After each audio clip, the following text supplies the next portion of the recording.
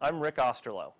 I recently joined Skype to head up the team that builds products that reach consumers around the world like you.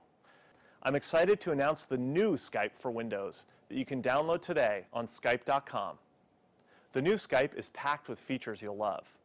The first thing you'll notice is that we've simplified the interface and made it intuitive and easy to navigate.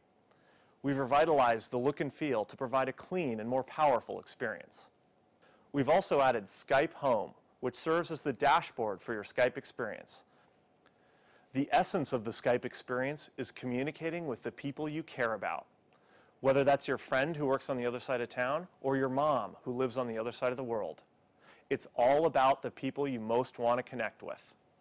To make this even better, we've improved the contacts list so that you can see photos or avatars next to contact names, along with their latest mood message and we've made it much easier for you to find people through our real-time search and contact importers.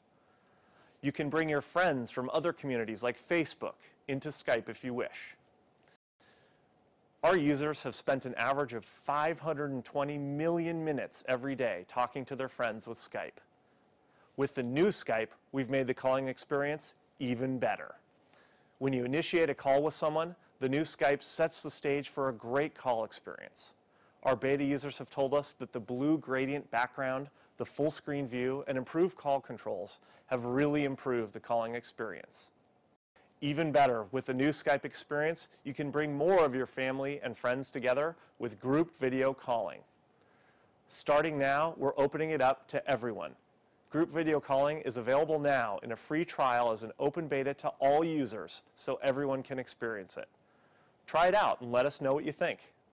But that's not all we're doing to make it easier to stay connected to people you care about. The new Skype includes a Facebook tab where you can find your updated Facebook newsfeed.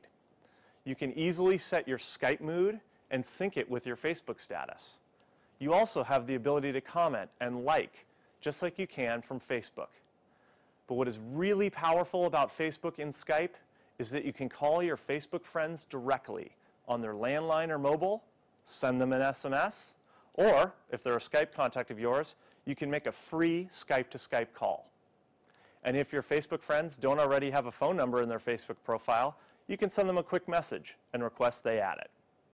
The new Skype brings people together like never before with a simplified interface, the addition of group video calling, and the integration of Facebook Newsfeed. Our beta users have loved the new version, and we think you will too. So go ahead and download the new Skype on our website, skype.com.